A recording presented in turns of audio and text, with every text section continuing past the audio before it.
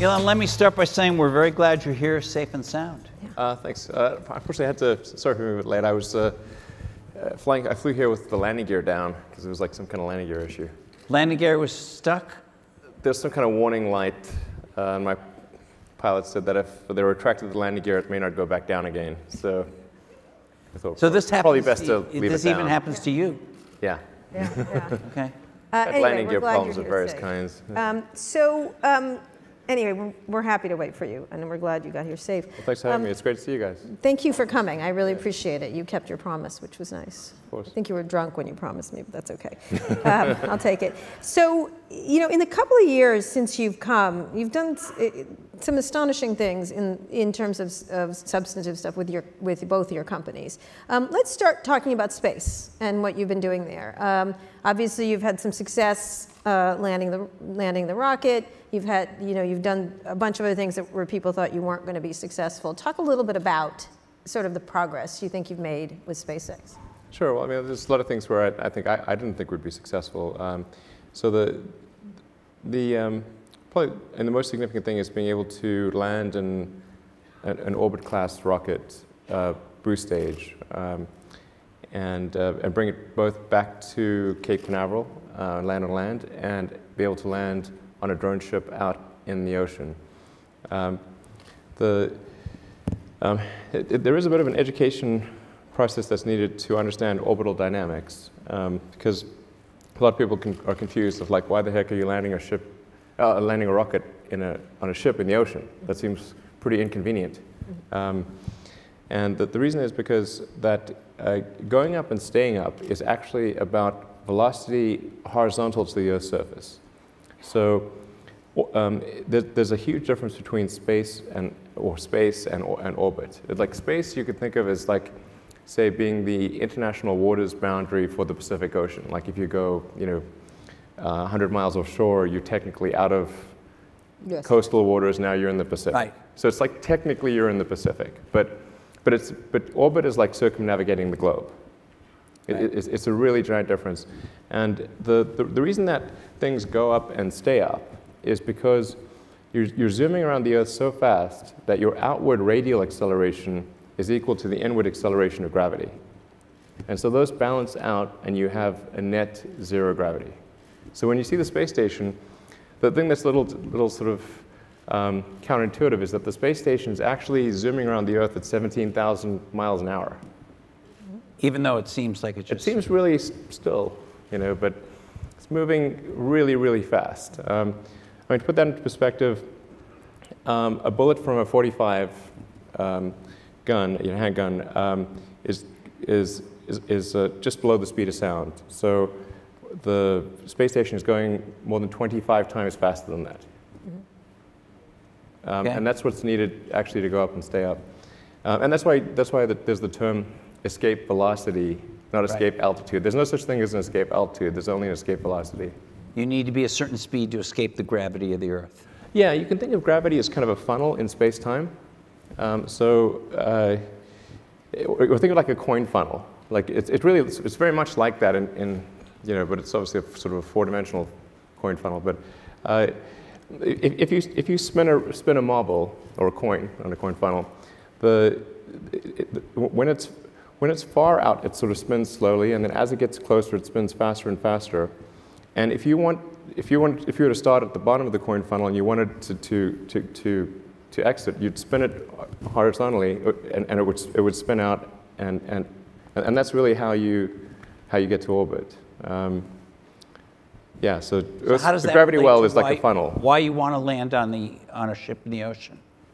Because um, in order to get to orbit, you, all that matters is your horizontal velocity. Your altitude is, doesn't, doesn't really matter. Um, in fact, the, the, um, the force of gravity at, uh, say, uh, the sort of nominal um, boundary of space, 100 kilometers, is almost exactly the same as it is on the surface of the Earth. Um, it's like if it's a few percent lower than, than the surface of the Earth. Um, uh, so in, in order to go up and stay up, the only thing that matters is how fast are you going horizontal to the Earth's surface. So you have that outward radial acceleration, or think of it like maybe like tetherball or something like that. It's really that outward acceleration is the thing that matters. Um, and so when the rocket is going to orbit, um, the only reason it's going up is to get out of the thick part of the atmosphere. Because at, at, high velocity, the atmosphere is thick as molasses. Um, and so it goes up very briefly, but if you look at a long exposure of the, the rocket's uh, trajectory, you'll see it, it goes up, but immediately curves over and starts going horizontal. Um, and so the, um, at, at, the, at the point at which the, uh, the, uh, the, at the point at which the stages separate, those two stages, um, the, the, primary boost stage, which is the most expensive part of the rocket, the point at which that, sta that staging occurs uh, can be um, as high as uh, Mach 10. Um, but it's, so it's going away from the launch site at 10 times the speed of sound. So in, in order to get back to the launch site, you would have to have enough uh, fuel and oxygen to reverse out that velocity and, and, and boost back all the way to the launch site. Um, and you just don't have, the physics of it don't really allow you to have that much. It's, it's not about saving money on fuel or anything, it's just physically impossible. Um, so, um, because another sort of thing about uh, if, you're, if you're in space is that there's nothing to react against. So, like, whereas an aircraft can, can circle very easily because it's reacting against air, in vacuum, there's nothing to react against. So, the only way to go back the other direction is to apply just as much energy as it took you to go. If you want to go backwards, you have to apply just as much energy as it took you to go forwards. Mm-hmm. In fact, well, twice as much, really, because you've got to zero it out, and then you've got to. So you've got to land elsewhere. Yeah. So bottom line is this thing is zinging out to zinging out to so, sea at super at 10 times so faster than point, a bullet. It may well be over the ocean because the ocean covers most of the. Oh, it's it's it's actually at the point of separation. It's not that far away. It's maybe 100 kilometers away from the, the launch site, but it is going like hell in the opposite, you know, away from the launch site. So the the, the only way to really land it is to have it continue on that arc, that ballistic arc, and then land far out to sea on a ship that's, that's pre-positioned to a particular uh, latitude and longitude, very, very precise, to within about a meter. Um, and then the, the rocket will um, then go from vacuum through rarefied air at hypersonic velocity uh, um, it, and, and when, so when it's, in, when it's in vacuum, it has to, obviously you can't use aerosurfaces. You have to use um, nitrogen jets to control the, um, the attitude and position. And then um, as it starts to encounter uh, the air, um, we use um, grid fins because grid fins uh, look like sort of like a waffle. they, they work quite well across a wide regime from both very high velocity um, hypersonics through supersonic, transonic, and subsonic. Um, so it's hard, to, it's, it's, hard to have aero surfaces that work well across that entire regime.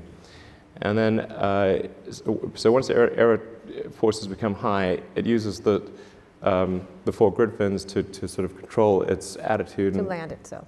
Yeah, it's, it's controlling its, it's, it's controlling pitch, yaw, and roll with, with the grid fins. Um, and, uh, and then once, and th those grid fins will then position it to where it's fairly close to the ship, and then it will light, in this case, three of the nine engines to arrest the velocity and then drop to one engine for precision right before landing. Right, okay. So, so that was a, maybe a bit of so a long wait, explanation. No, but okay, what we're going to get to is that's super fucking hard. There's a video. So why, why is that important? Why has that, this moment been important for you? Um, well, so in order to reuse the, the boost stage, which is right. about 70% of the cost of the rocket. So that, Wh which cost is that? How much is that? Um, well, I mean, it's sort of on the order of 30 to 35 million dollars. Right. So you want to save that? Yeah. I mean, it's like I try to. I tell my team, it's like imagine there was a pallet of cash right. that was vomiting through the atmosphere, and it was going to burn up and smash into tiny pieces, would you try to save it? Right, right, right. Probably yes. Yes, okay. Yeah, uh-huh. that sounds like a good idea. Right, okay. Uh-huh. Um, so, so yeah, so we, we, we, we want to get it back. Right. And that way, um, we don't have to make another one. Right. Um, and I think it's quite tragic if rockets like get smashed into tiny pieces and land so at the bottom of the ocean. So can I ask a question? We, we've, been in, we've been going to space for, uh, what, 50 years or something like that? Yeah. Nobody, until you started doing this and Jeff Bezos' company has done it, uh, the government never They're sort like of saved the things, rockets. yeah. They never saved the pallet of cash. Why not? And the Russians didn't either. I mean, what was the Um, deal there? Yeah, I mean, there was some attempt uh, made to do that with the, the space shuttle, but there was no um, return. It's the first time that, that a, a rocket boost has returned to launch site Right. um, from an orbital mission, and, and certainly the first time that there's been a, a landing on a ship out But the sea. regular rockets that went up that weren't designed like planes never tried to do this. Right. Um, the plane thing is not, not a good idea in my view.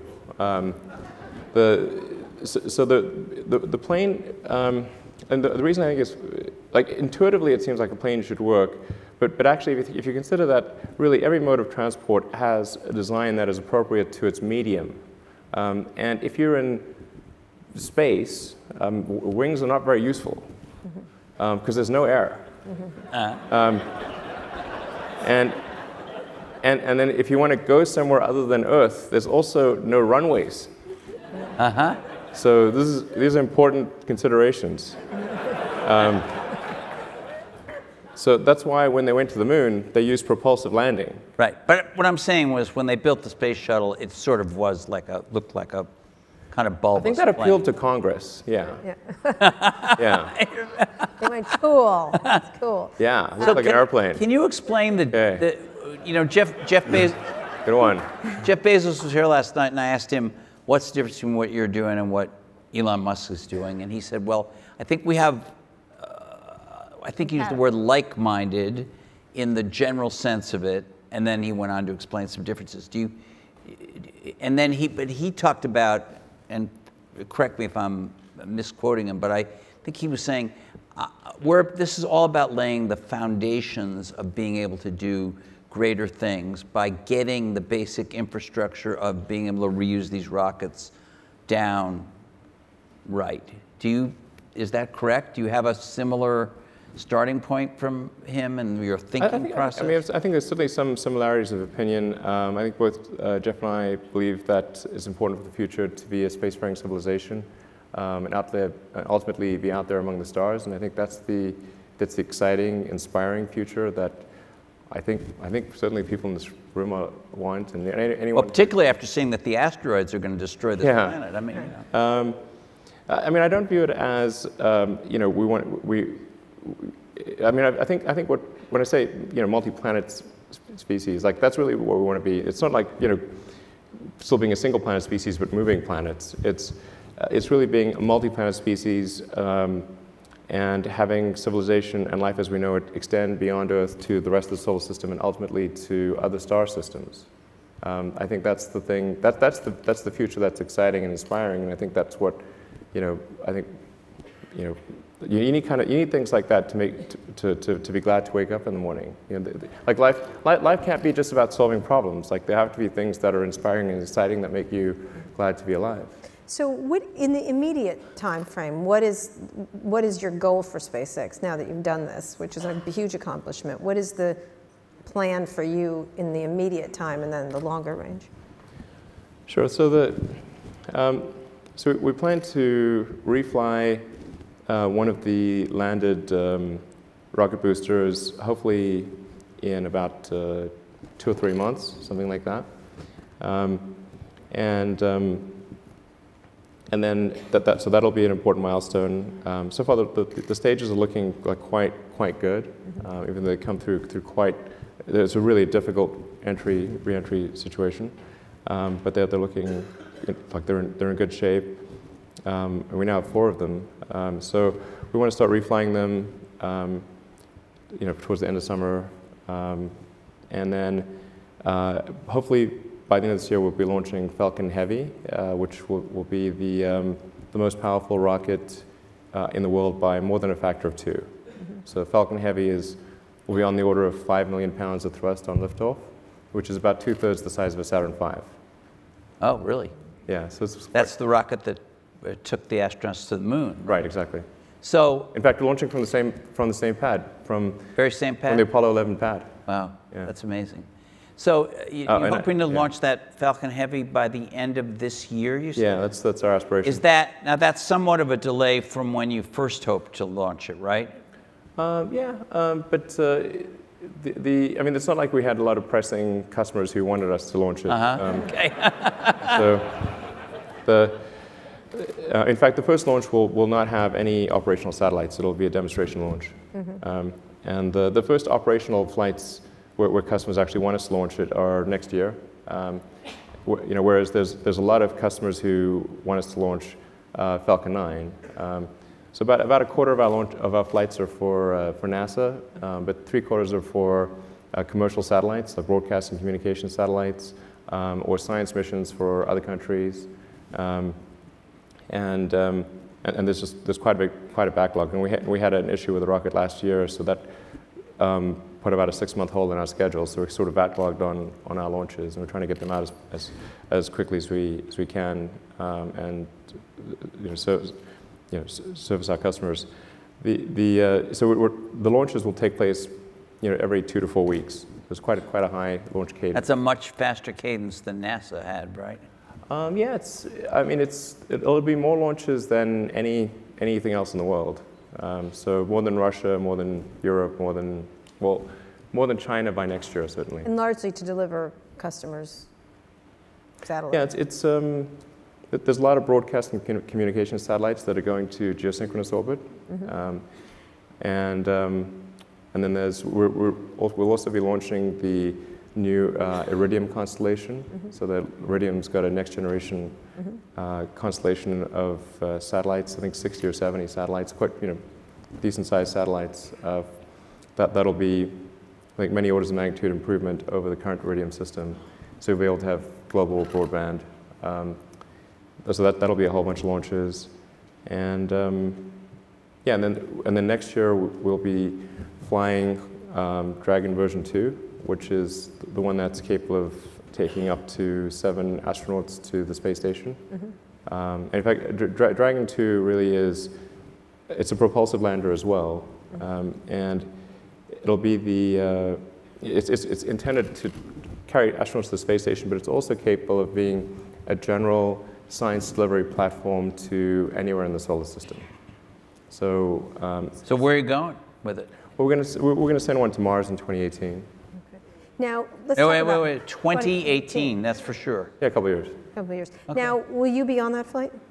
No, this You is- have talked about this. You said you don't want to, you want to die on Mars, just not on landing, right? Is that correct? Well, I mean, I think if you're going to choose a place to die, then Mars is probably, you know, not a bad choice. All right. But you're not It's, ready it's to, not, it's not some sort of Martian death wish or something. Um, but, but uh, yeah, I mean, if you're going to be born on Earth, die on Mars. So sending this up to Mars 2018, all right. Sending this up to Mars 2018, when will someone like you get there from your plans? Sure. So, so the 2018 mission would be um, our Dra- Dragon version 2. Right. Um, and that, um, I wouldn't recommend traveling to Mars in, in that, because I mean, it, it has the interior volume of a large SUV. Okay. And the, uh-huh. the, the, trip the trip for Dragon would be on the order of six months. Mm-hmm. It's a long time to spend in an SUV, I think. Mm-hmm. Mm-hmm. Um, that's, you know, it can be done, can be done, but not, not probably not ideal. Um, and it also doesn't have the capability of getting back to Earth. Right. Um, that's,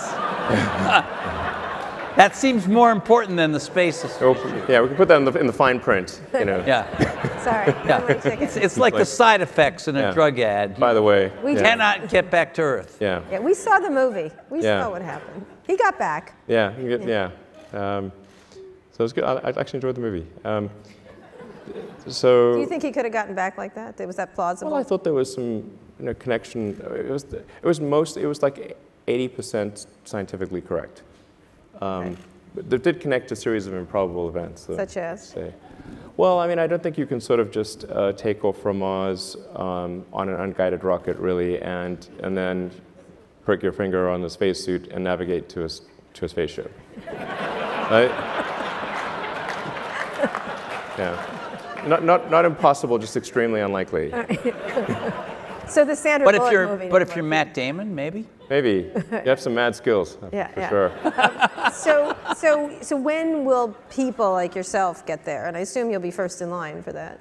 Yeah, so uh, uh, later this year in September at the um, IAC, which is the big uh, sort of world space conference, industry space conference, I'm going to be presenting the, uh, the architecture for Mars colonization. Um, so I think what really matters is being able to transport uh, large numbers of people and um, ultimately millions of tons of cargo to Mars. Um, and, it, and that's what's necessary in order to create a self-sustaining, uh, and, and, and, and a, uh, not really self-sustaining, but a, gro- a growing uh, city on Mars. I'm curious, have you been to space yet? No. Why? I mean, you could just go up, right, for a little bit, or not? Um, I could, I suppose. Yeah. No? Why haven't you? Like I walked think I around will the at some moon or point. something, or Yeah, well, yeah, I probably will. will you do a moon test well. before you go to Mars? Um, yeah, I mean, I'll probably, probably, I don't know, go to orbit in four or five years or something like that. But- again, space and orbit are very different things. yeah. But on the Mars thing, would you send up two or three, whether it's you or not? I, I kind of would prefer it if you tried it, frankly, but Sure. um, because you know, it would be exciting. But um, would you send up some people, some people before you do this whole architecture for colonizing Mars? Just a handful of people to kind of Well, see what. I mean, the, the basic game plan is like we're, we're going to uh, send um, a mission to Mars with every Mars opportunity from 2018 onwards. So, and they occur approximately every 26 months.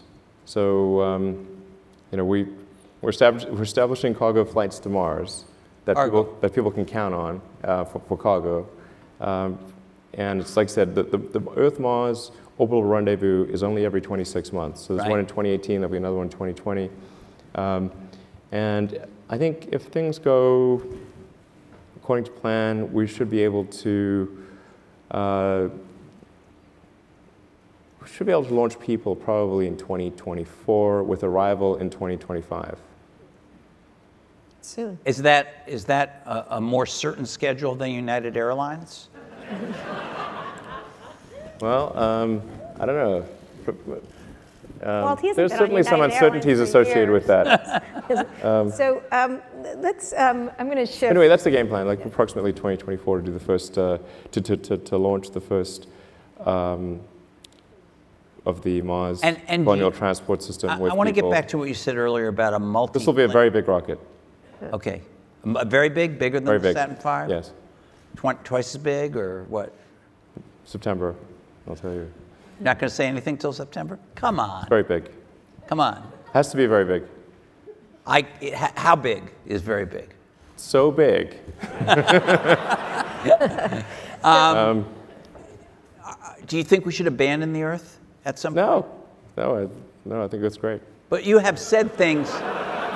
Why would we abandon Earth? It's, it's really nice here. You've Yeah. said things about we may have to abandon the Earth, so it's good to have a plan B. You've No, said I that haven't. before. No, that was Bezos. That's, I think that's Bezos. maybe, maybe, Ja- I don't know, but it wasn't me. All right. Okay. it wasn't me, like Shaggy. You know. Right. Um, so let's move to things on this earth. Let's move to uh, Hyperloop, Tesla, uh, other things. But let's talk about Tesla first. Um, where do you feel like the company is at at this point? And there's been lots of activity in self-driving cars, in autonomous, semi-autonomous. How do you look at how everybody's jumped in? Google, Apple, others, um, and all the car manufacturers. Um, yeah, I mean, there have been so many announcements of like autonomous EV startups. I'm waiting for my mom to announce one. Okay. Um, it's like, Mom, you too. Like, um, I mean, there's a lot. So, um, yeah, I mean, in, in yeah, in, in the U.S. alone, there are there are four, I think, maybe five China-funded EV startups. Yes, there are. um, at, at the billion-dollar plus level, like serious funding. Um, and there's a bunch of startups, and then of course the you know the car industry as a whole seems to be moving in that direction. Um, Volkswagen just I think announced a, a huge battery factory that they're going to build. Um, and I think these are all good. You know, it's good. It's good for um, the industry to be moving towards sustainable transport as, as quickly as possible. um, we open sourced our patents to try to be helpful in that regard. And um, yeah, so it's, it's encouraging to see all this activity. Um, fr- from a Tesla standpoint, you know, we're just trying. We want to take a set of actions that are uh, likely to accelerate the advent of sustainable energy.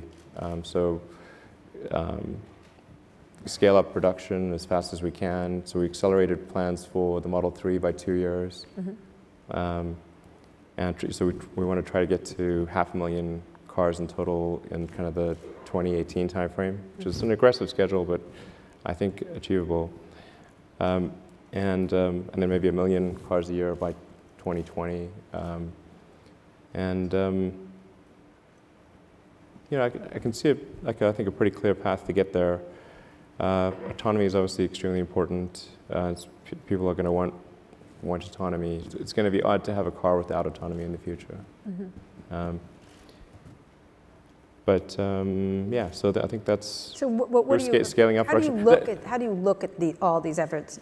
Not your mother, but. yeah. My but, uh, mom's yeah, she's. She's not going to do it. She may do a rocket situation, but um, how do you look at each of them? Let's go through them, what Google is doing. How do you assess what they're doing when you're looking at it? Because there'll be competitors at some point. These are all Um, eventual competitors. Well, you know, I think what, what Google's, I mean, Google's done a great job of showing the potential of autonomous transport. Right. Um, but they're, they're, not a, they're not a car company, so they would potentially, you know, license their technology to other car companies. And I think they announced something with uh, Fiat. Um, and uh, so I, I wouldn't say, you know, Google's a competitor um, because they, they're not a car company. They, we would compete with somebody perhaps that they license technology to, but not to them directly. Right. Um, Apple? um, yeah, that, that'll be more direct. That'll be more direct? Yeah. You can tell that by the hiring pattern and Yeah, yeah, that kind of absolutely. stuff? So what do you, okay, so they're going to be more they've hired a lot direct. of How do you assess it? Um, I mean, I, I say like you know, I, I, I think it's great that they're doing this, and um, I, um, you know, I hope they I hope it works out. What's, what's the time frame for them, do you think? Um, I don't know. I mean, um, I, I think they should have eh, eh, um, embarked upon this project sooner, actually. Um, uh, that that. Uh, um, but I don't know. I don't know when they. I mean, they have, you know, they don't, they don't share with me the details of their production plans. But um, I, I, I- I don't think it's going to be. I don't think they'll be in volume production sooner than maybe 2020. That'd be like the soonest. And that's, is that too late? We say they should have embarked sooner. Is, is that because 2020 will be too late to stop you or beat you or compete with you or No, what? it's just like it's a missed opportunity. It's just a that they. It's it's. Um, It'll be over by 2020? no, no, it won't it's not, it's not. It's just like it's it's it's a couple of years. I think they'll they'll probably make a good car and uh, probably be successful. The car industry is very big, so it's not as though there's, um, you know, one company to the exclusion of others. Um, I mean, there's like a dozen car companies in the world of, of, of significance. So, uh, and the, the most that any company has is approximately 10% market share. So it's, it's not like um, you know somebody comes up with a car and they're suddenly like they kill everyone else. It's not not that way. Um, and and the sheer scale of automotive manufacturing is is is just it's hard to appreciate until you see the plants. I mean, they're gigantic. Yeah, like the industrial, I have seen the plants. Yeah, I mean the, the the sheer size of the industrial infrastructure is is staggering. Not just the assembly plant, but everything else that goes. Yeah, the supply chain, exactly. The assembly plant is just a The little engine tip of the iceberg, really. Yeah, The, the assembly plant is literally tip of the iceberg. phenomenal. The, the supply chain is, um, you know, once you go to tier two, tier three, tier four suppliers, um, that's uh, probably an order of magnitude more uh, So- than, the, So, than okay, the so, final assembly. so you think Google will not be a competitor? Apple directly. probably will be a direct competitor. yeah, yeah, sure. What about the car companies? The, the, Yeah, the I think they'll, they'll all be competitors. Yeah, sure. Who do you see out there that has done a nice job so far? Mercedes or GM of, what, or- of, of what? of a competitive car? of the incumbents. A potentially competitive car, I guess. I mean, I don't think anyone's, any of the car companies thus far have made um, a really great electric car. I mean, you tell me if, I'm, if you disagree, um, but uh, I don't think yet that any of them have made a great electric car. Okay. They, you know, presumably will continue to improve on what they've done so far, and, and then at some point they may make a car that's, that, that's, uh, you know, that, that's a great car, but no, they haven't done that yet. Can I ask you about batteries for a second? Uh, yeah, sure. So you're building this gigafactory, right? You've, it's built. It's, Well, it's not completely built. but okay, but it, part of it's up a and big running. chunk of it's built, yeah. Part of it's up and running. It's a really gigantic thing. It's like when the Gigafactory's done, it'll be the largest footprint building of any kind in the world. Of any kind, not just factories, it literally of any What is kind. this? The largest rocket, the largest building? I mean, Well, I mean, I think this, it's not scale for scale's sake. It's just like if you say, well, we want to accomplish these goals, then, um, then you kind of have to be, make a big thing. okay.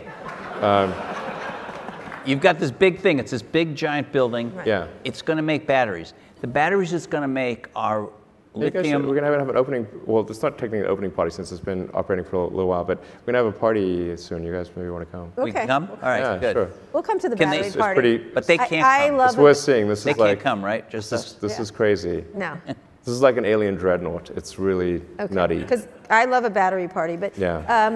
Right, right, but, but, but, But talk about where it's going. Are these lithium ion batteries? Yeah, yeah, sure. So they're the same batteries that's in No, our phone? no. they're explain, please explain. Yeah, so, so lithium you- ion- have you made a, a battery breakthrough is something I'm interested in. Um, yeah, I mean, generally the, I mean, there's, there's so much nonsense out there about batteries. Like about, you can believe about 1% of what you read, um, on a, you know, maybe. Um, uh, lithium ion covers a very broad range of technologies. Um, and you can have an enormous difference in the power density and the energy density and the cycle life um, between one chemistry and another. They can be really enormously different. Um, so uh, what you really actually want to ask is what is the cathode and what is the anode? Right, So in our case, that's right. Okay. Um, I just put it in the, the, the lithium is actually for my kids. 2% of the cell mass. So, so it's like the salt in the salad. It's, it's a very small um, amount of the cell mass and a fairly small amount of the cost. Um, but it sounds like it's big because it's called lithium ion, but it, it, it really, like our battery should be called nickel graphite because it's mostly nickel and graphite. Okay, and, Um, it's nickel, cobalt, aluminum, but battery, other little things, in graphite with a silicon oxide layer. battery anode. efficiency or power, that, you know, the power that you can store in a certain uh, mass seems to be moved very slowly, at least compared to, you know, we're used to Moore's law pushing uh, integrated circuits faster. Batteries kind of are always, in our consumer devices, always lagging behind. I- In your, you've built this giant thing, the biggest building in the world it's ever seen. It's not fully built, but yes, it's You're building a pretty the big biggest chunk is building the built. world So has yeah, ever yeah, seen yeah. uh, to make batteries. Your whole business depends on batteries in these cars. Have you figured out a way to do some significant uh, increase in the yield of energy from a given amount of, of space in the battery? Well, uh, yeah, I mean, the, the, the energy density is increasing sort of maybe on the order of like five-ish percent per year. Um, and it doesn't sound like much, but you add that up over a number of years with compound interest, it ends up being quite, quite a significant number. Um, and a lot of people sort of think that, oh, well, we just sort of cobbled together some um, laptop batteries and somehow made a great car. If it, if it was that easy, then I think we would have quite a few competitors who did the same thing. But, but it's, it's, it's really quite, quite a lot harder than that. Um, the, it, it's a cylindrical form, form factor, but the internals of the battery are quite different from what you would find in, uh, in a laptop. Um, and, uh, and, and, and will be increasingly different with the, what's built at the Gigafactory, which is highly optimized for automotive um, and, um, and with, ha- has improved energy density. But, but mostly, it's not the energy density that's the issue, because you, know, you can buy, if you buy a Model S today, um, the range is um, around 300 miles. Um, and and that, yeah, that's quite a lot. Um, So it's pretty rare that people really need to go more than 300 miles at Without a time charge. without stopping. Right. You know, um, so I don't think we really have a range issue, and we could make a 400 mile range car today. Like that wouldn't be too big of a deal. Um, the, the, so what, what really matters is decreasing the cost uh, per unit of energy of the battery packs, so, Okay. so you can make the car affordable. That's actually the, the, the important thing. Um, so there's, and there's really two main, main dimensions along which uh, cost optimization and making something available to the mass market can be achieved. One is design iteration, going through multiple versions of something, and then the other is economies of scale. Um, and you kind of need both of those, those things in order to make a compelling mass market uh, product. And you look at like cell phones and how many design iterations have we gone through with cell phones, um, and and then and, and, and, and, what, and look at the scale at which they're, they're made, which is enormous. Uh, and that's what enables everyone to have a supercomputer in their pocket. Um, So speaking of that, the sales, when you're talking about the sales, you have booked how many orders for it's on the order of 400,000. 400,000? So 400, yeah, obviously, it's- it's- con- consumer interest and a promise, a lot of it around you, around the idea of you and Tesla and the excitement.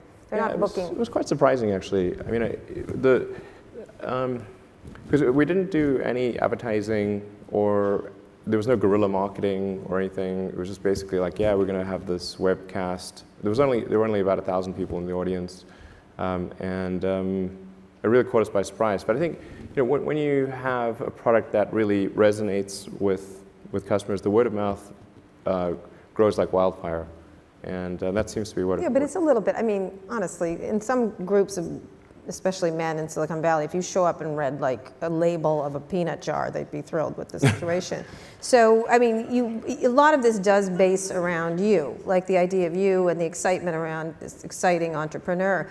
Is that, is that enough to get it to, the, to, to this massive company you've been hoping to? The idea of this is the Elon promise, or it's the Well, I, I think actually it's not so much. Uh, I mean, I, I sort of. Um, um, I, I mean, I'm not sure. I, I, I th- I think I des- deserve less credit than that. Actually, the the. the- I mean, what what Tesla's done, and we have a phenomenal team. There's like 15,000 people at the company. Um, worked super hard to create compelling products, to create great cars, um, and we started off with the Roadster and then the Model S. And the Model S was rated, you know, by Consumer Reports as the best car ever. Um, got the Model X, which you know had some has had some teething issues, but um, I think is now at the point where it's it's really starting to. I think it's really, I think qu- quite sublime at this point, um, and uh, and and so people look at that and say, okay, well, if Tesla's made these cars, then probably the next car they make is going to be, you know, the also less expensive one. also a great car. And um, yeah, it- but you know, so it'll be a great car, but it'll be affordable. And it's like, great, okay, that sounds like something I want. Um, So this car, this next car, the price is the it's starting at thirty-five thousand. okay, affordable. Okay, when is relatively affo- when do you get to the when when, of, when do you get to the really affordable, the way down, much lower than that? Yeah, I mean, it's important to point out that thirty-five thousand, particularly when factoring in the lower cost of electricity versus Right. gasoline, and that the maintenance cost is much less. You don't have to have oil changes. You never need to replace your brakes Mm-hmm. uh, because the, the car uses regenerative braking, so the brakes last as long as the car do. Uh, the car does. Mm-hmm. Um, it's basically you just need to replace the tires. Like that's about about all. Um, so the operational cost of the car is much lower fundamentally than, than a gasoline car, and and so um, and and the, I think the the, the uh, average price for cars uh, for gasoline cars is around 30, 32, something like that. Yeah. Uh, I mean, there are starting prices that are lower, but but when people pick pick options, I believe it's in the around 32 or so in the U.S. So we're pretty close to the that that, that That- but that's your base price, right? I mean, the, yeah, but it's that gonna be a great car. may car. not be the ASP for the car. No, but it's gonna, it's gonna be a great car even at 35. So it's like even if you order nothing, no options at all, it'll be great. But you're, at, but you're likely to have a mix where the average car that you actually sell sells for a little more than that. Yes, probably. It's probably going to be yeah. It's probably going to be some higher number. Um, but it's really important to emphasize like the, like 35. If, if somebody orders the thirty-five thousand dollar car, they'll be very happy. Like it's not like you need to order a bunch of options in order, without which the car is is you know not not good. That car will have autonomous for 35? Um, I have a. Uh, I'm going to do another Tesla event, maybe at the end of the year, um, talk more about that.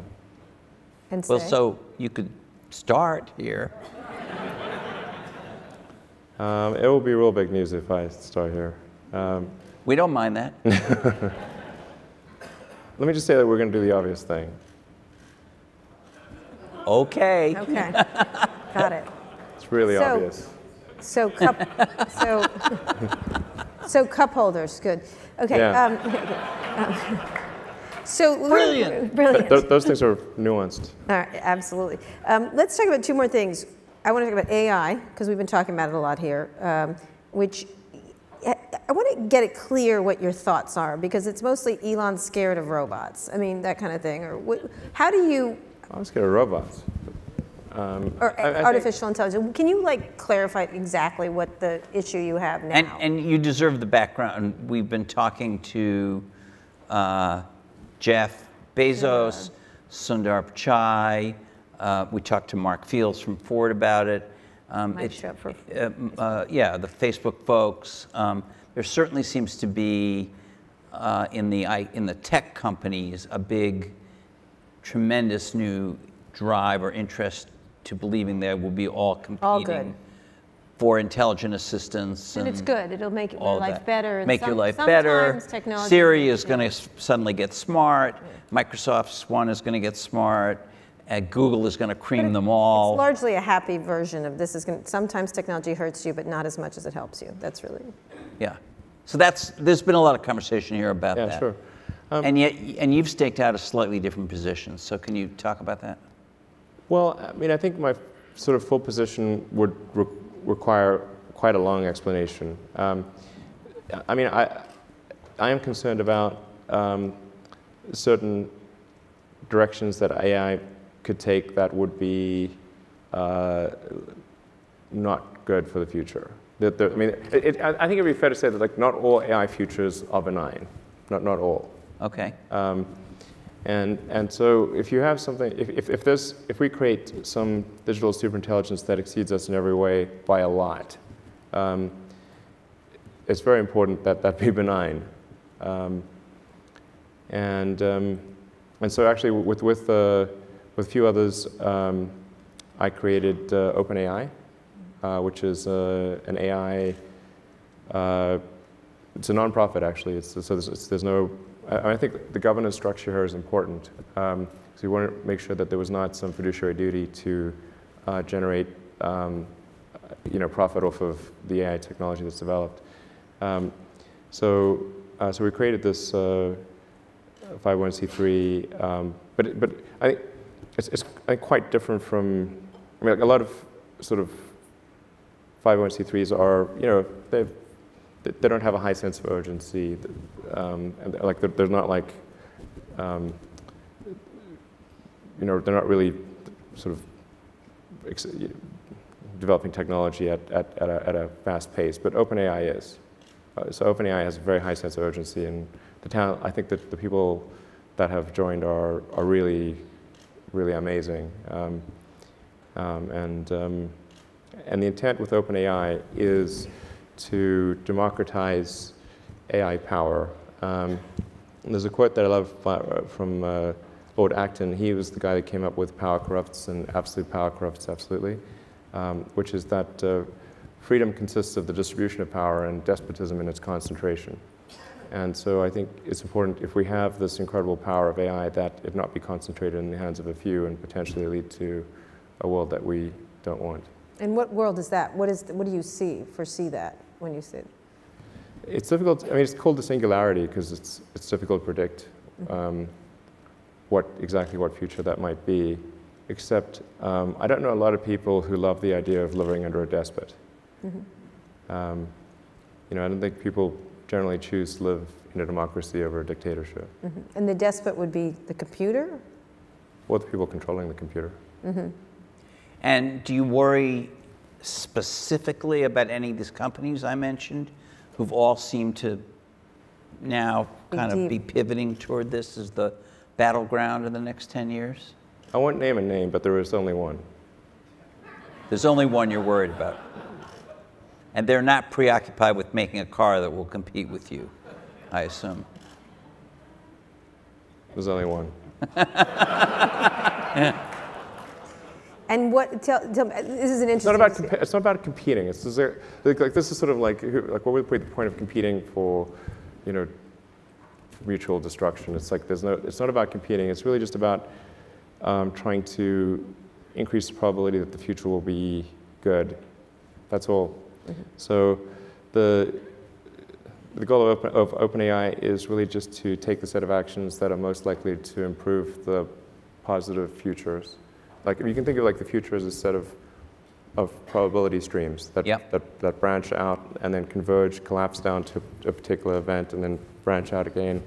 And uh, there's a certain set of probabilities associated with the future being positive and different type flavors of that. And uh, at OpenAI, we want to try to do, do whatever we can to guide, to, to increase the probability of the good futures happening. I think that's, that's really what we're trying to do, Do you there. worry that by making this open, some bad actors may use some of what has been developed to do bad stuff uh, with the power Yeah, of AI? Yeah, I mean, that, that is certainly the, the, the, I mean, a good rebuttal to that. Um, however, I think if AI power is widely distributed, um, then, and there's not, uh, say, one entity that has some super AI that is a million times smarter than anything else.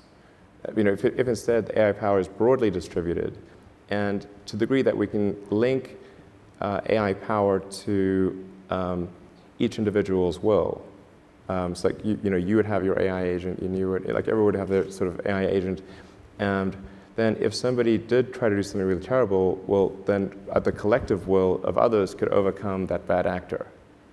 Um, which you can't do if if there's one AI that's you know a million times better than everything and, else. and it's proprietary. And it's, yeah, it's either has its own will or more likely, at least in the beginning, is controlled by, you know, some small set of people. So um, I think that's, that's really the, the risk. I mean, um, you know, there's, al- there's always been these arguments like, what's the, what's the best form of government? Um, you know, big fan of, I think it was Churchill, like, you know, democracy is the, the worst form of government except for all the others. Right. Um, So speaking Uh, of that, yeah. this election, you are from. Oh, no. No, no, no. yes, yes, yes. How does that strike you, what's happening now? You're, you, you've come to this country, you're a naturalized Uh, citizen? you know, I think uh, I'm glad that the framers of the Constitution saw fit to ensure that the president uh, was someone who um, was captain of a large ship with a small rudder. Okay. And, There's a limit to how much harm any given president. are you sure about that? Oh yeah, yeah. Yeah. So you're not worried about, are you backing in either of the candidates at this point? Trying to stay out of this situation. Because? I don't think that's the finest moment in our democracy. Well, given that it's not the finest moment in our democracy, do you think the best thing is to stay out? Or We'll to see. get in and I'm not sure what what I try could to do to head off to the st- worst? I mean, I'm not sure how much influence I could have as, as one person on the outcome. Um, so, um, I mean, if I think I could make a difference, I would probably do something. Um, but um, like I said, I think I'm just glad that, that the, the pre, you know, be, being the U.S. president is like being captain of a large ship with a small rudder, and so like, there's just a limit to how much good or bad a president can, can, can actually do. I mean, obviously, if, if a president could make the economy great, that, and there was like a button they could press, they'd be pressing that button at the speed of light. Um, so, you know, that they, but they, they can't. They can't, they can't just magically make the economy good. Um, no president wants the economy bad ever, um, but they, you know, like there's just a limit to, to how much they can do. Um, and, um, you know, I guess there is the nuclear thing, which is, Yeah, the nuclear thing. I guess there is the nuclear thing. yeah, but I, I, I don't know. I think people, I think, I think, I don't think we would like just arbitrarily launch nuclear missiles. Yeah, Yeah. one would hope. President can do that. uh, I don't think so. Not President's the commander in arbitrarily. I mean, I think that He's no, he's the commander in chief. Yeah, no, but I, I, I, I still don't think that means you can just launch nuclear missiles whenever you want. Uh, Yeah. Um, I, I think Congress would be like quite upset about that, and um, They might not be consulted. Yeah, but I think, I think like the military would be like, yeah, we really think Congress should be consulted on it before we launch a, Yeah. That, that might happen. Preemptive could nuclear happen. strike. Are you willing, that, Um, you're basing your faith in that, though? I'm quite confident that the military would not just, you know, randomly agree to launching nuclear missiles at somebody.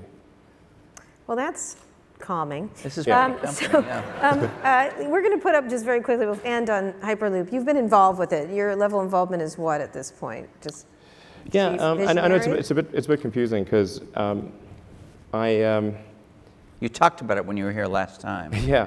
Um, I I actually came up with the idea. Um, I came up with an initial idea, which, which turned out to be wrong. It wouldn't work um, several years ago, and and then, um, but I sort of shot my mouth off and, and said, oh, I think I have an idea that would work. And it turned out that didn't work. But I've, with a lot of iteration, was able to come up with something that where the physics hangs together.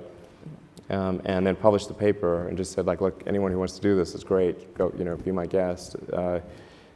Because I'm, I sort of have my plate full running Tesla and SpaceX, Yeah, yeah. and so I think it'd be great. I mean, it'd be great to have any interesting new transport solutions, um, anything that gets people to their destination um, in a way that's safer, costs less, is more convenient.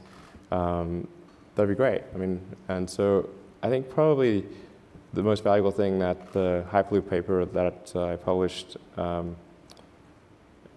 uh, has done is, is to spur thinking in terms of new transportation systems. So it's not just, oh, let's, you know, have a, a fast train. Um, okay, that's not even as fast as what Japan did in the 80s. Like, okay, well, why, wh- I don't see what the point of that is, you know?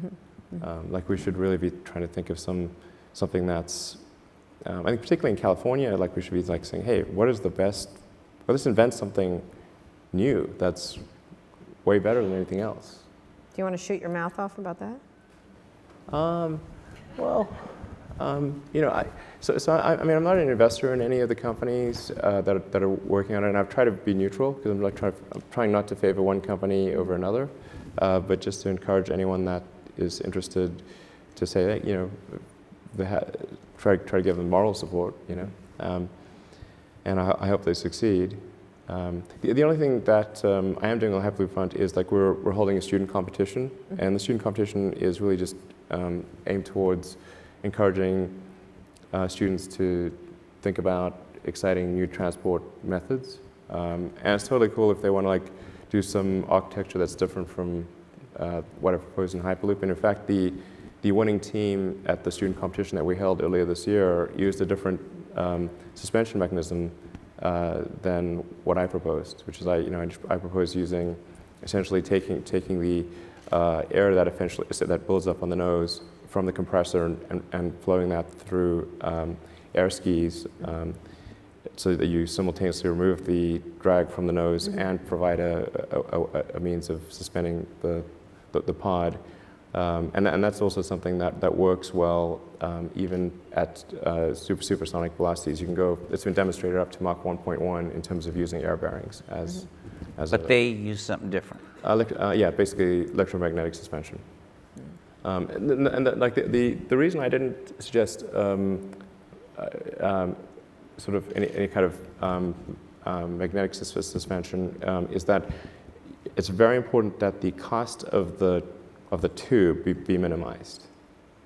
So you really want, because the, the, the, pod is cheap, the tube is expensive. Um, so if you, if you want to go, say, 400 miles and, you've, and, and in two directions, so you've got 800 miles of tube. The, the, the critical uh, e- economic optimization parameter is the cost of the tube. So you want that tube to be as low cost as possible. Um, and so if you, if you do anything that, requ- that um, requires um, action on the tube side, it's going to make that tube much more expensive. Um, so if you use air bearings, it doesn't change. Like that's real cheap. Um, and um, yeah, so You think this is going to happen? Yeah, I think something like that. I think something will happen in the future. Um, you know, it's, I think I think if, if, if the companies that are that are trying that are trying to make it happen now, if if for whatever reason that that doesn't work out, um, then you know I think I, I'll you know, I'll, I might, I might do something myself in the future. I, I don't want to do something. I don't, know, I don't want to sort of front run them, you know, and it's like say, here's this free idea, and then meanwhile I go and do it myself. You know, that wouldn't be nice. So, um, so, so, but if, I, if they, if they, if they, if, if a bunch of people, if companies don't try it and it doesn't work out, then, then I think, I think, um, I think I'll try to just at least do a demonstration system, you know. Okay, last question. Do you think tech has gotten more serious? Do you, how do you look at the tech landscape as someone who's, you know, well-known? You probably qualify as a visionary. Um, the concept, what, where do you imagine we are right now in the tech space? And then we'll get to questions from the audience. I think there's a lot of innovation happening in, in many different areas. Um, the advancements in AI, I think, are quite, quite astonishing. Um, the advancements in genetics are amazing. Um,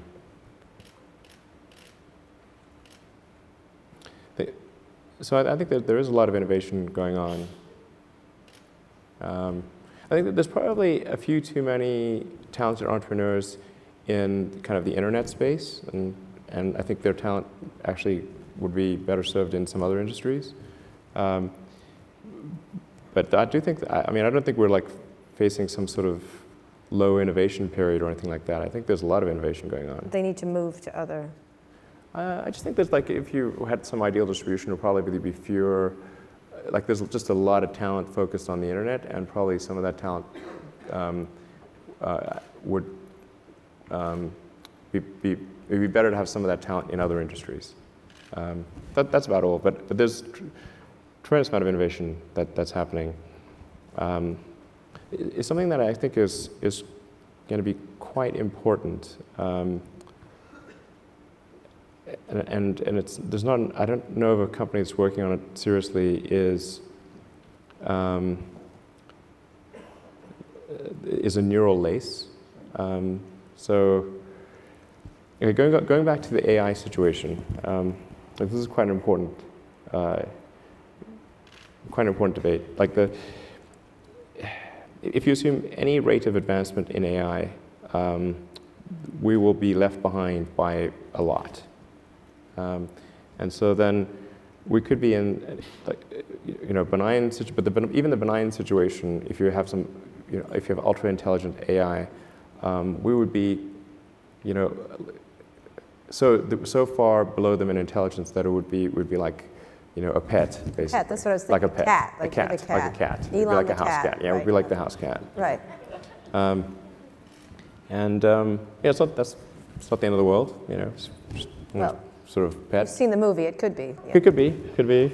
Um, the you know, so that, but that honestly, that, that would that would be the benign scenario. Mm -hmm. And so house cat is okay. I mean, I don't love the idea of being a house cat. Okay. Um, but but that, so what's the solution? Yeah. So I think the um, I, I think I think it I think it's to essentially I think one of the solutions the solution that, that seems maybe the best one is to have an AI layer um, if you think of like you've got your limbic system, um, your cortex, and then um, a digital layer, a sort of a third layer above the cortex, um, that um, could work, work well and symbiotically with, with you. I mean, just as your cortex works symbiotically with your limbic system, your sort of a third digital layer could work symbiotically with the rest. This is something that's in, surgically inserted or bred so, into the species or what? The, the fundamental limitation is input output. So uh, we, we already have, uh, we, are already a cyborg. Um, it's just that, I mean, you have a digital version of yourself or, or partial version of yourself online in the form of your emails and your social media and all the things that you do. Um, and, and you have basically superpowers in, in that with your computer and your phone and, and the applications that are there. Um, you have more power than the President of the United States had 20 years ago. That you can answer any question, uh, you can video conference with anyone um, right. anywhere, you can send a message to millions of people instantly. Um, you know, you just do incredible things. And, um, but the constraint is, is input out output. So we're, we're I/O bound, um, particularly output bound. I mean, like the your output level is so low. It's like particularly on a phone, like your two thumbs are sort of tapping away. Um, this is ridiculously slow. Um, our input is much better because we have a high bandwidth visual interface to the brain. Like our, our eyes take in a lot of, lot of data. Um, so there's many orders of magnitude difference between um, input and output. Um, so mostly um, effectively merging in a symbiotic way with uh, digital intelligence revolves around eliminating the I/O constraint. Um, so it's it'd be some sort of direct cortical interface. Um, and you called it a neural lace. Neur neural lace, yeah. Um, it's totally not Google Glass, right? No, I, am talking about something no, which. Like you wear it, or you... no. I mean, it would be. Uh, I mean, it, I mean, there are a few ways to approach this, but some sort of interface directly with your cortical neurons, particularly. But doesn't that uh, imply uh, surgical insertion? Not or? necessarily. You could go through the veins and arteries because that, that provides a, a complete uh, roadway to um, all of your neurons. Your neurons are very heavy users of energy, so they need high blood flow. So you automatically, with your veins and arteries, have um, a road network to your neurons. Still some kind of surgery, right? Um, yes, but it, you could insert something, you know, basically, you know, in, in, into the jugular and, and have, it gets macabre, but. It sounds I mean, really easy and. It, it doesn't involve, it doesn't, it doesn't involve, you know, like chopping your, your, your skull off or anything like that. That's yeah. good. Yeah. And plus, you're not a house cat anymore, right? Not a house cat. So. Right um, I mean, essentially, if, if we can figure out how to establish a high bandwidth neural interface with ourselves, with, with your digital self, effectively, um, then, uh, then you're no longer a house cat. You know? All right. On and, that note, no, on that note. Well, well, I, just one closing thing. I mean, I think it's probably are you the benign are outcome. You interested, That's probably the best outcome, I think. Are you interested in exploring this possibility that you have just laid? So, somebody's got to do it. I'm not saying that I will, but I'm, somebody's got to do it. I mean, I, I, I mean, I, so somebody should do it. And I mean, if somebody doesn't do it, then I, then I think I should probably do it. But. Uh, and, and the goal of this is to prevent there being an external uh, AI particularly one controlled by a small group of people that could yeah. be so much more powerful and intelligent than we are that the house it would be, cat it would be godlike in, situation in capability. Occurs. Yeah. Well, this has been really cheerful. Thank you. Yeah. But, but, if, but if we can establish I was worried about asteroids at the beginning of this. I mean, asteroids are a low probability uh, existential threat um, on the time scale that's relevant to us. Okay. Okay. Um, this is different.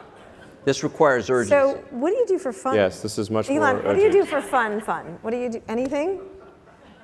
I play video games with my kids. All right, that sounds good. Let's get some questions for Elon.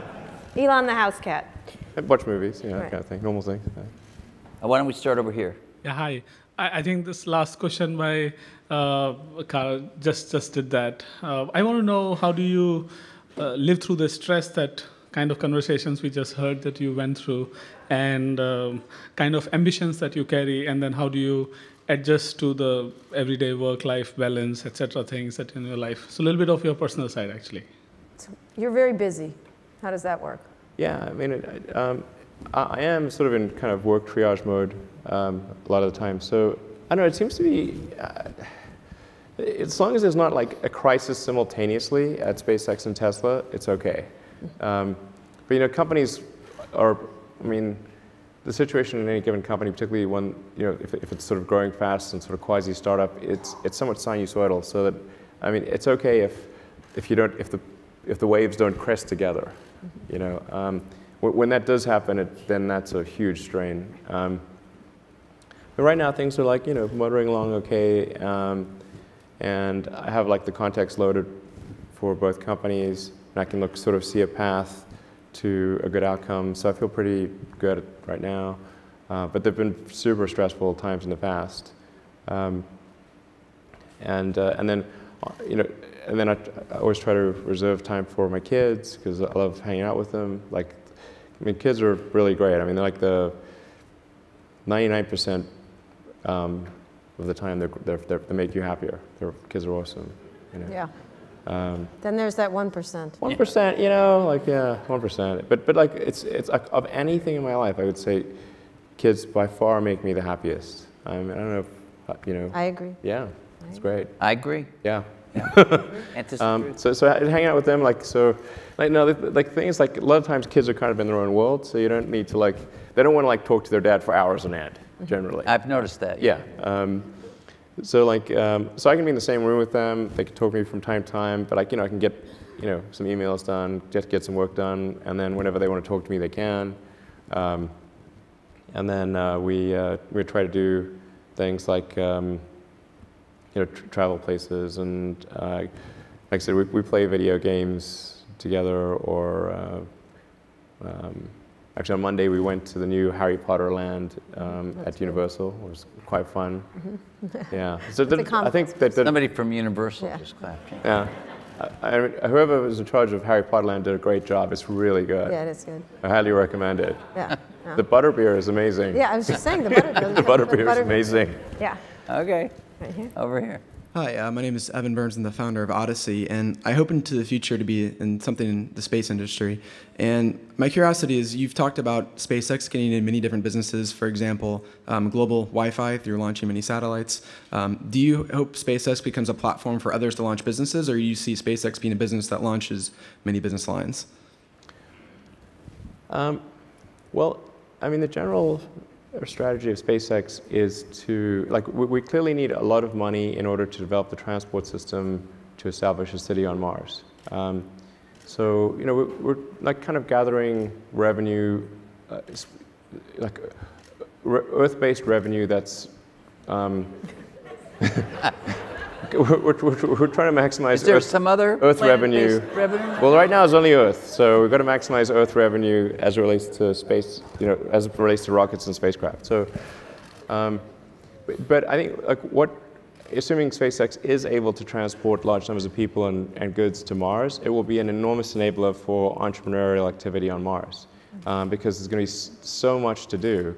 Um, you know, everything from creating like the first iron ore refinery to the first pizza joint to, um, you know, something that doesn't even exist on Earth.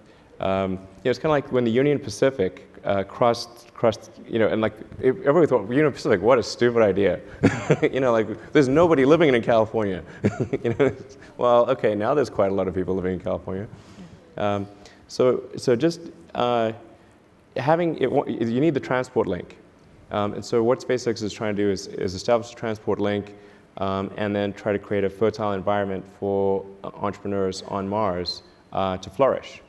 Um, and, and I think that will be an, an amazing um, expansion of entrepreneurial. How long would it take to deliver a pizza from Mars? Well, it's going to be a little cold, I think. Um, but I mean, uh, we, we, and we can certainly see a way to get to Mars in under three months. Um, and I think ultimately you'll be able to get to Mars in under a month. It does get exponentially difficult as you reduce the time. Um, but, um, but you know, th- three months is a, is a way to think of it. Um, and I think that's probably, you know, that's, that's really where, where SpaceX will, I think, create a, a a great environment for entrepreneurial potential. Thanks. Nilay? I hope Domino's does not get to Mars. Please don't let it. We'll have a special, special Mars I pizza. assume you're going to be, I'm assuming hey, you're going hey. to be king of Mars. but go Eli. ahead. Here I am. Uh, Uh, so you're obviously very ambitious. Um, that's led to some really ambitious deadlines that have been missed. So Falcon Heavy was originally 2012.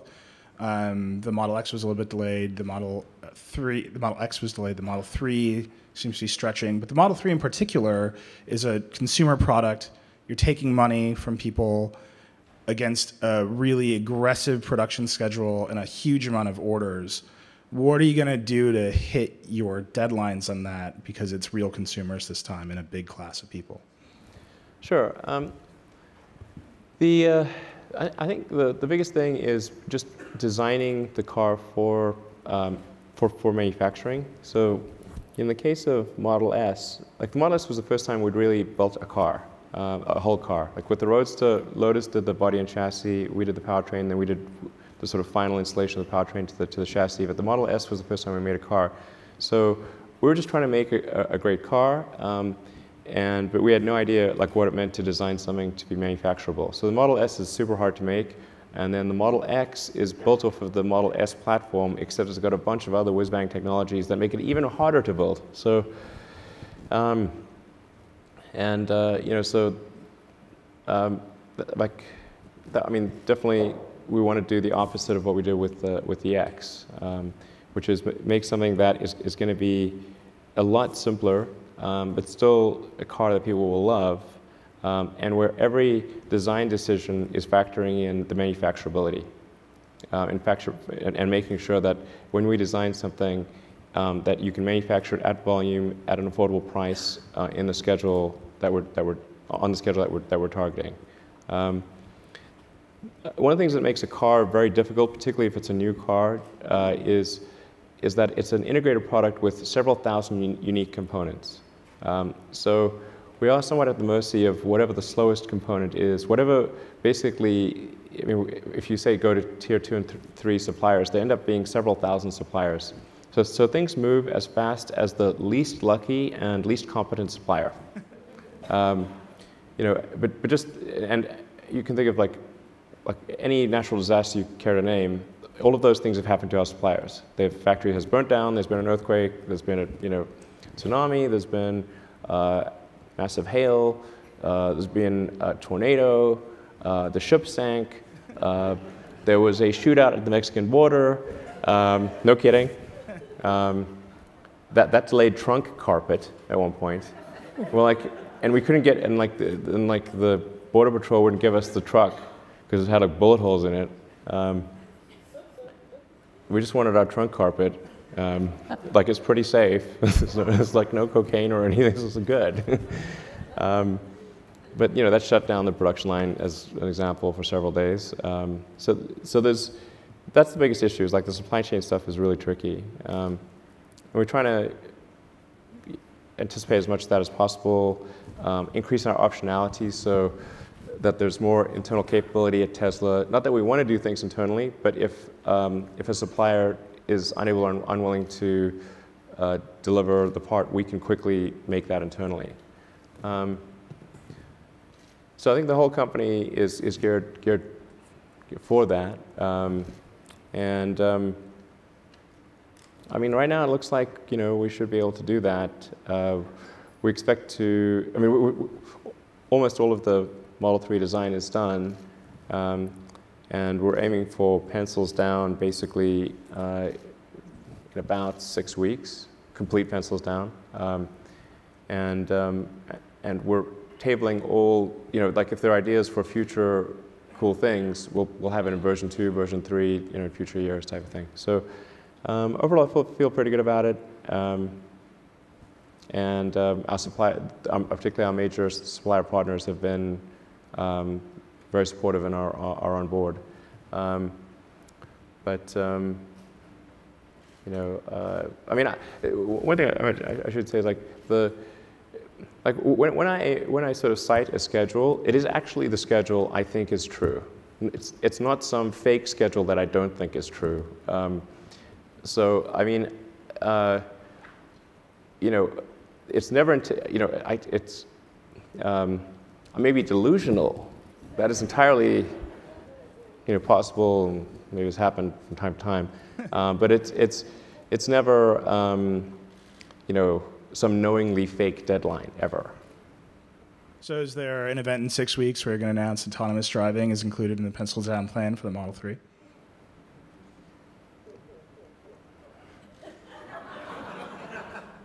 We're not expecting any event in six weeks. Uh, Josh. Hi. Um, I, so I have a, this is a kind of a weird question. I feel like you would be the guy with the right answer for it.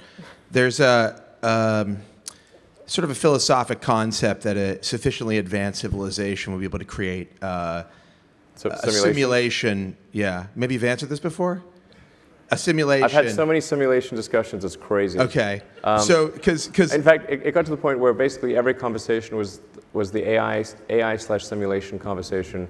Um, and my brother and I finally agreed that um, we would ban such conversations if we were ever in a hot tub.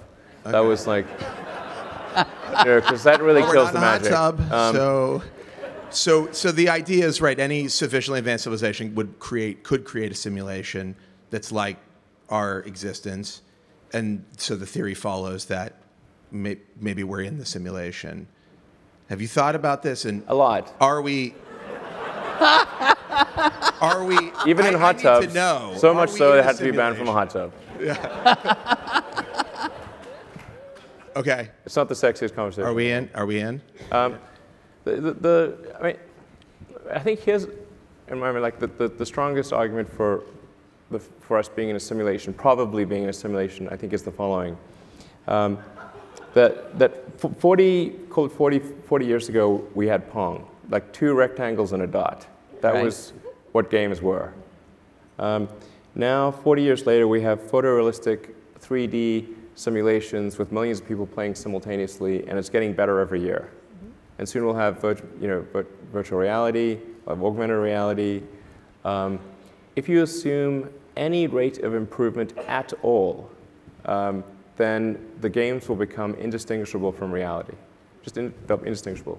Um, even if that rate of advancement drops by a thousand from what it is right now, um, then you just say, okay, well, well let's imagine it's a 10,000 years in the future, uh, which is nothing in the evolutionary scale.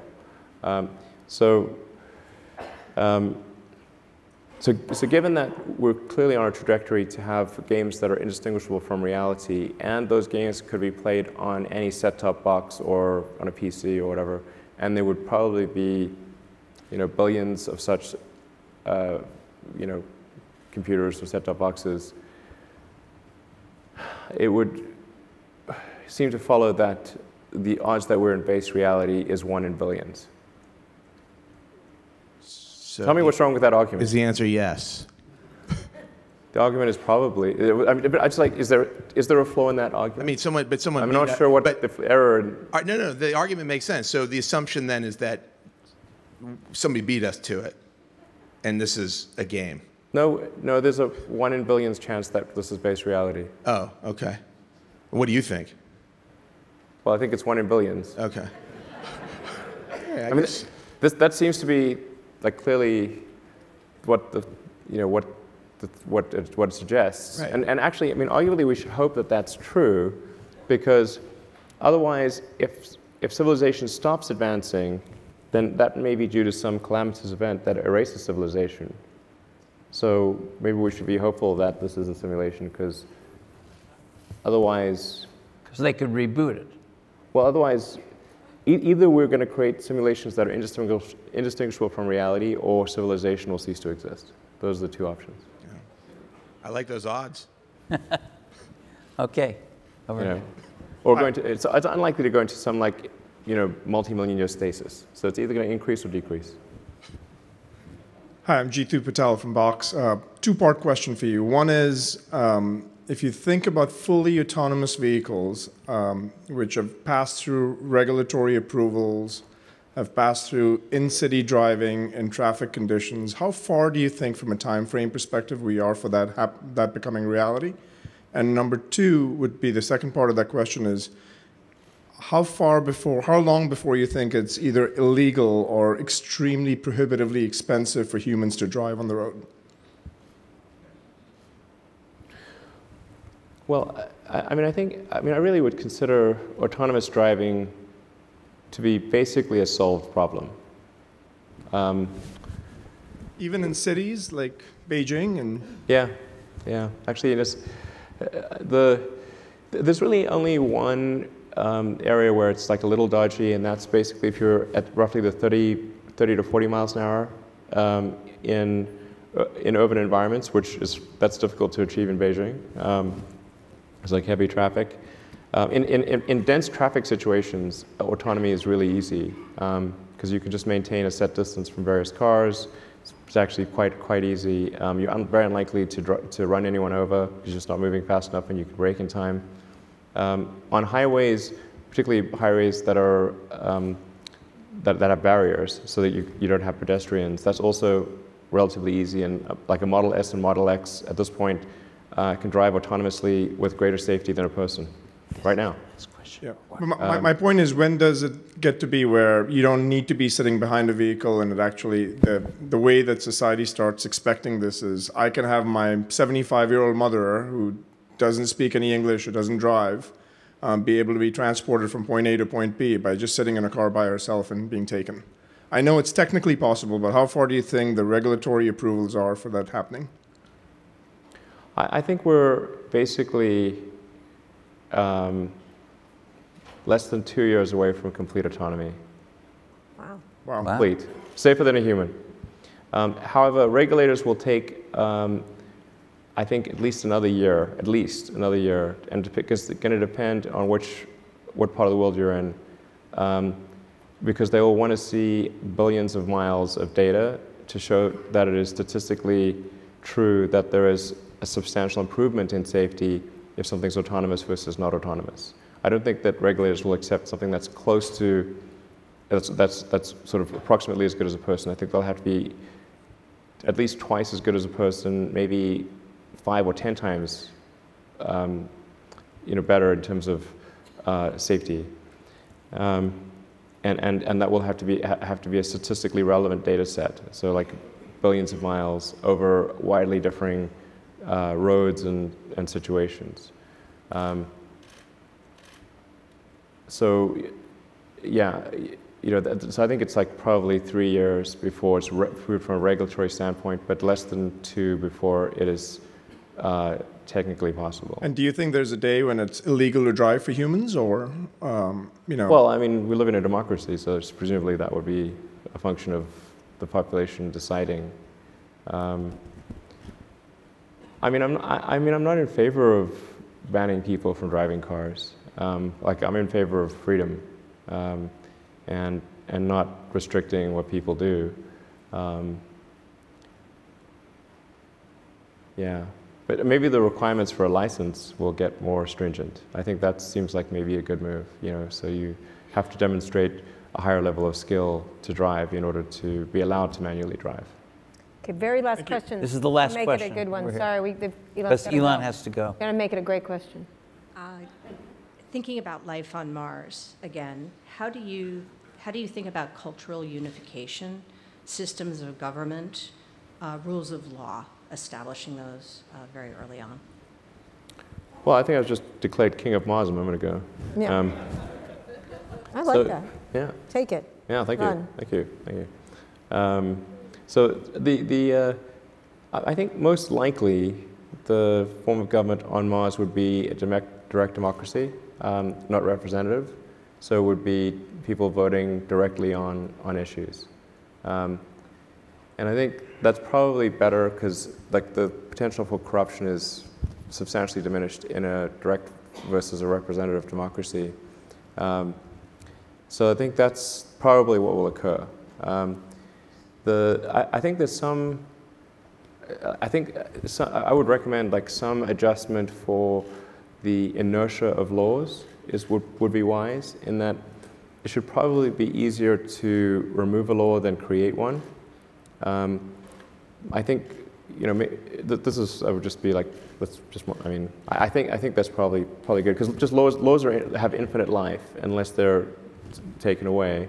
Um, so I think, and my recommendation would be like, like something like, let's say, 60% of people need to uh, vote in a law, but at any point greater than 40% of people can remove it.